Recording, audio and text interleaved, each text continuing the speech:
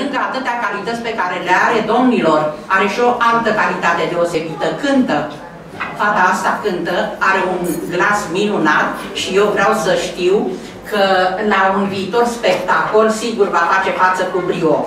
Iar în familia Stăicuț, Cingășia, Tandrețea, încă sunt ridicate la rang de crezi.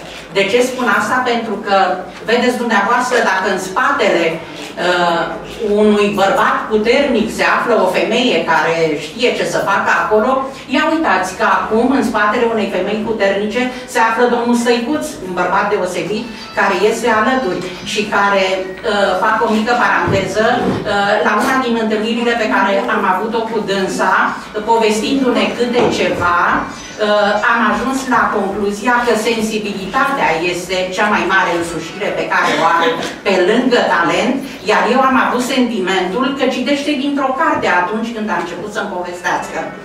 O mai cunosc pe doamna Stăicuț din paginile revistei a cărei secretar literar Independența Română, Independența prin Cultură, a Fundației Literare Istorice Stoica, al cărei secretar general sunt.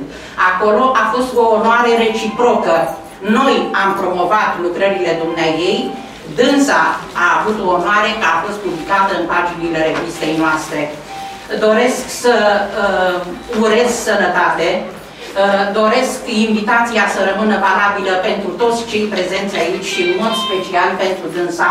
Îi mulțumim pentru tabloul donat care va sta în Galeria Centrului Cultural pe care noi îl vom avea, iar împreună cu dumneavoastră, de ce nu, să susținem revista noastră, pentru că știți cum e, fiecare trage un pic de foc și pe turta lui. Eu mă repetrăream la câteva uh, publicații pe care doresc să vi le dau, uh, dumneavoastră să faceți uh, cunoștință cu uh, revista noastră prin promovare, pentru că noi nu putem să existăm fără dumneavoastră, pentru că ce am pune în paginile revistei, dacă nu ceea ce faceți cu atâta drag, cu atâta amicală. Felicitări! Vă mulțumesc, doamna